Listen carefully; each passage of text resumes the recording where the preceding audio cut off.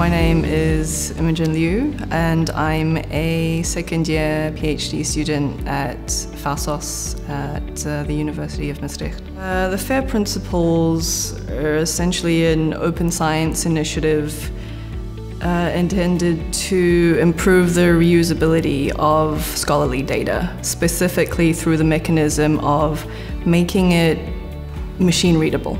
The kind of research I'm doing is primarily qualitative, and my primary data source is semi structured interviews, uh, specifically elite interviews.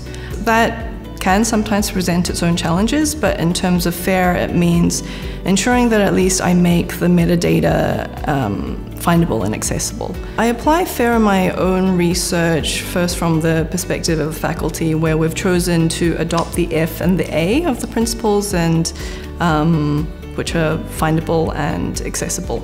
First, I do primarily qualitative data collection. So I work with um, archival text data and semi-structured interviews.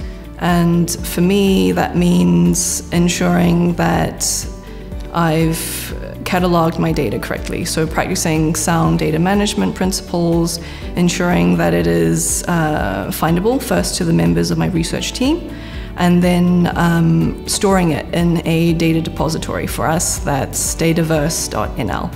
A next step in the project is to make the data interoperable to the members of our team.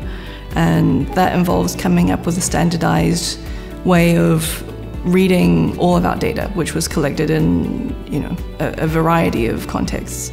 So, for instance, the nature of the people, like what kind of people they are, uh, where the interviews are taking place, what time the interviews are taking place. So, the basic metadata, um, ensuring that I catalog that. FAIR starts from the beginning, before you collect the data, and to really think about how do I make it fair before I even do the interviews, before I start collecting the data.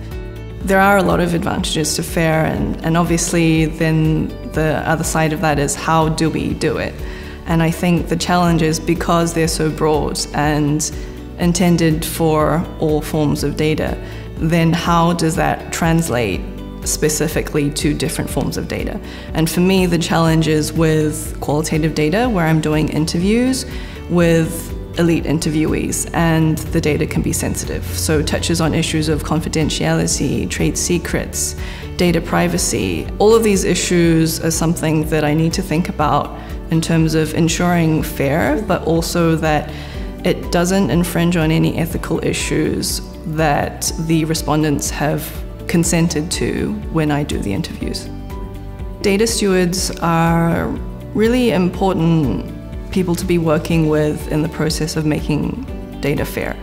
And what they do is really help you bridge the gap between a set of abstract principles and how do I do it step by step in terms of sitting in front of my computer or sitting in front of an interviewee um, to make fair work in that context. I think with any form of you know systemic accountability, there is additional work involved. And I think the challenge now is we're just trying to get it off the ground. So, you know, maybe then it means, you know, the setup costs are higher. But in the end, you know, if everything is more standardized, if researchers are thinking more about FAIR at the start of their projects, it pays off in the long run.